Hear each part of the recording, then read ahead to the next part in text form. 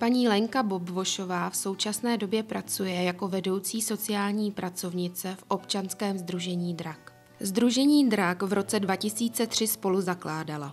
Já jsem začínala třeba jako dobrovolník, kde jsem pracovala zcela zdarma, vypracovala jsem si svoji pozici a díky tomu, že třeba jsem našla ty informace, tak jsem si našla tu práci, která vlastně mě bavila a našla jsem si práci takovou, abych mohla sladit ten rodinný život tím pracovním životem, abych to všechno zvládla.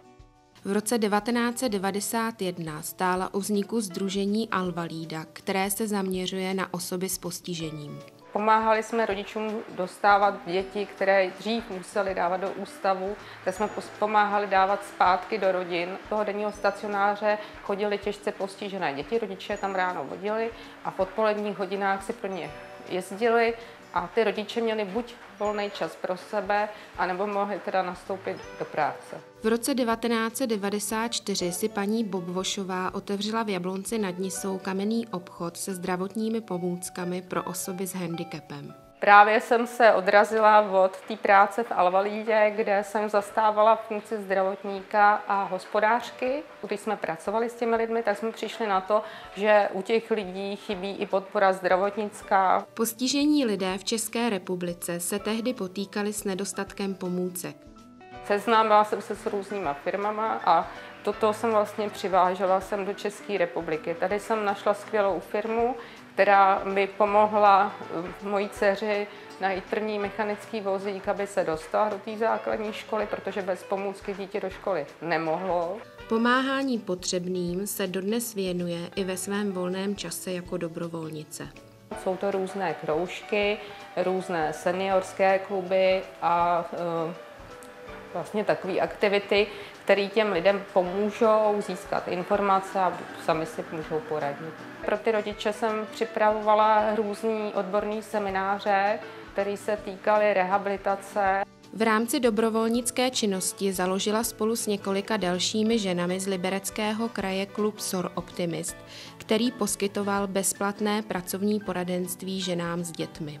K neziskovému sektoru a pomáhajícím profesím se paní Bobvošová dostala přes osobní zkušenost, neboť je sama matkou handicapované dcery. Narodilo se nám v rodině dítě, který po porodu vlastně získalo nemoc nebo ochrnulo. Ta práce a ta péče zabírá opravdu 24 hodin denně. Takže předpokládám, že dojde k tomu, že budou nějaké zařízení, kde ty lidi budou moct bydlet, kde se o ně někdo postará a jako e, rodič budu mít tu možnost prostě žít svůj život. Sehnat odlehčovací službu pro handicapovanou dceru je dle slov paní Bobvošové nadlidský výkon a zapojit do péče zbytek rodiny také není snadné. Mám rodiče, o který za chvilku se budeme muset starat jako sourozenci sami.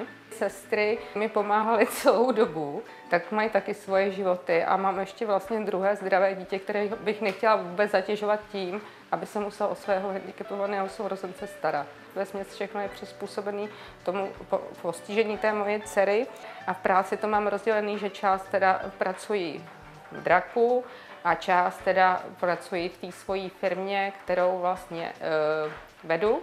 Střícné pracovní prostředí se snaží paní Lenka Bobvošová nastavit i co by zaměstnavatelka ve své vlastní firmě. Také mám zde takové lidičky, které kloubí rodinný a pracovní život, protože si myslím, že to je skvělý vlastně ta moje zkušenost, kterou mám já z toho svého života, můžu předávat dál.